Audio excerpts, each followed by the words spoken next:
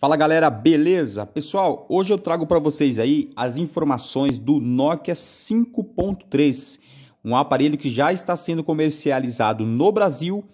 E por que eu, eu decidi fazer esse vídeo, galera? Eu estou fazendo esse vídeo porque eu verifiquei nas especificações desse aparelho, que já traz a Nokia como uma marca aí de muita garantia e satisfação. Você que conhece ela aí da, né, do passado, você sabe que a Nokia aí foi feliz por muitos anos aí, né? Que você que usou Nokia sabe que é uma, é, um, é uma marca de qualidade. Galera, então, é, esse aparelho ele veio, é o Nokia 5.3, veio com uma, como um aparelho intermediário aqui para nós, para o Brasil.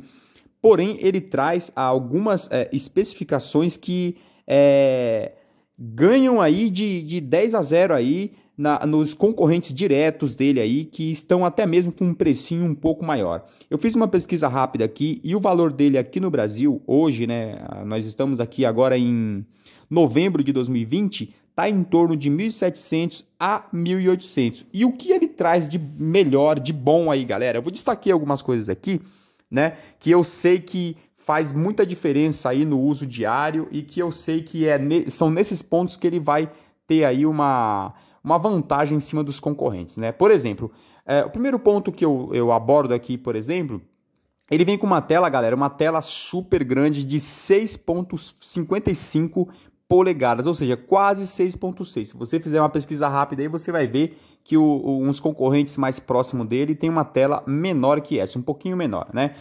Essa tela é, ela é Gorilla Glass é, o número 3, né? Então é uma tela boa de, de muita resistência e tem uma qualidade muito boa também. Né? Se você fizer uma pesquisa aí, você vai ver que é uma tela muito top, tá? Ele vem também, galera, com 4 GB de RAM.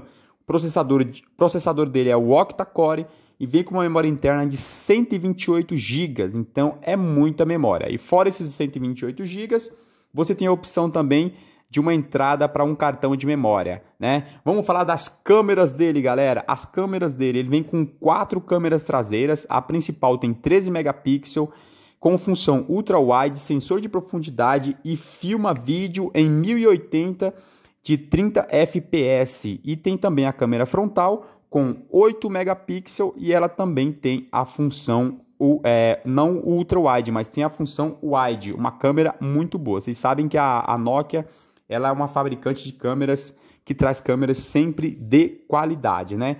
Agora um destaque muito importante aí, galera, você que costuma ficar sem bateria, ele vem com uma bateria de 4.000 miliamperes. É uma excelente bateria. Sem dúvidas, você vai ter bateria para o dia todo, não vai ficar sem, né?